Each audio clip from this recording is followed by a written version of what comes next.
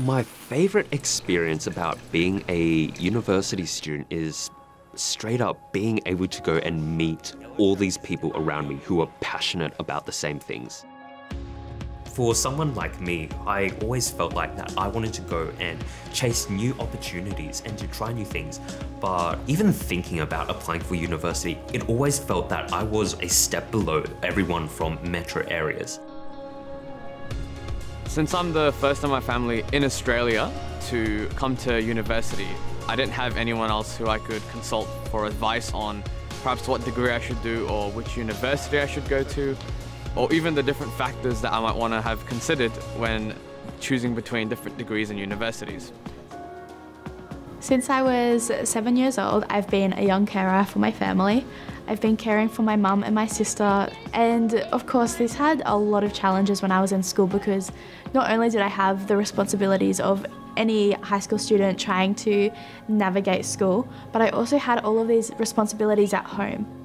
I think being a role model for my younger siblings adds pressure, especially when it comes to how I dealt with HSC. It can get daunting when you read of success stories and then you look at yourself, you assess your situation, and you have that moment of, I want to be like that, and how can I get there? When I was in year 12, I attended the Gateway Winter program, and this gave me an advantage heading into my HSC. It was classes run by UNSW that had actual HSC markers in there to go and provide me with examples and advice on what I needed to actually go and achieve for those marks.